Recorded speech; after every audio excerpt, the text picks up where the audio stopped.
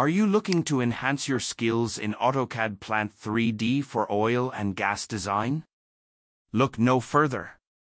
In this video, we will take you through advanced techniques and tips to help you master AutoCAD Plant 3D and level up your design capabilities in the oil and gas industry.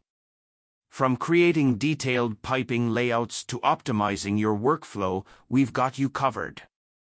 Whether you're a beginner looking to expand your knowledge or an experienced professional wanting to refine your skills, this video is perfect for anyone wanting to take their AutoCAD Plant 3D abilities to the next level. Don't miss out on this opportunity to become a master in AutoCAD Plant 3D for oil and gas design. There are four skills that we need to focus. Number 1. Let's get started with small project. As we know, the large project was built from smaller project.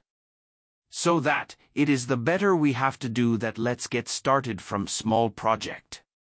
Maybe that is a skid, pump station, module of pipe rack, anything you can do with AutoCAD Plant 3D.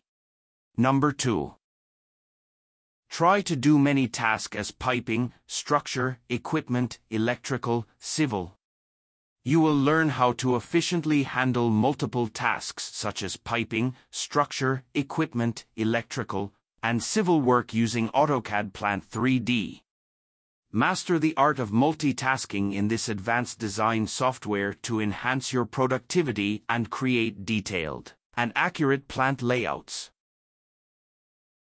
Number 3. When have the problem, before asking the expert we can search the error in Google or YouTube with the error keyword. Searching for error messages on Google or YouTube can often be a helpful first step when encountering a problem. Many times, others have faced similar issues and have posted solutions or troubleshooting steps online. By searching for the specific error message or keywords related to the problem, you may find forums, blog posts, video tutorials, or documentation that provide guidance on how to resolve the issue. This can save time and effort compared to immediately reaching out to an expert for help. However, it's important to critically evaluate the sources you find and ensure that the solutions provided are reputable and applicable to your specific situation. Number 4. Try to solve the problem by yourself with maximum your skill. After searching the problem on Google, YouTube or any platform, here are some general steps you can take to try to solve it on your own. Understand the problem, clearly define the problem you're encountering. Break it down into smaller components if necessary. Check documentation if you're using a specific software or tool, consult its documentation for troubleshooting tips or known issues. Review recent changes, think about any recent changes you made to your system or software.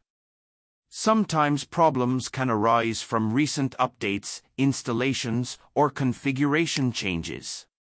Test isolation, try to isolate the problem by testing different components or configurations. This can help narrow down the potential causes. Use diagnostic tools. Many software applications come with built-in diagnostic tools or commands that can help identify issues. Utilize these tools if available. Check for updates, ensure that your software, drivers, and operating system are up to date. Sometimes, problems are resolved in newer versions. Seek community support if you're still stuck. Consider reaching out to online communities or forums related to the software or technology you're using. Others may have encountered similar issues and can offer guidance. Ask for help if you've exhausted your options and still can't resolve the problem, don't hesitate to reach out to experts or support channels for assistance. Provide as much detail as possible about the issue and the steps you've already taken to troubleshoot it. You can raise it on Facebook, LinkedIn, YouTube or any platform to get the advice. I believe that if you follow the workflow above, you can take your AutoCAD plant 3D skill to the next level in oil and gas design. Thank you for your watching until now.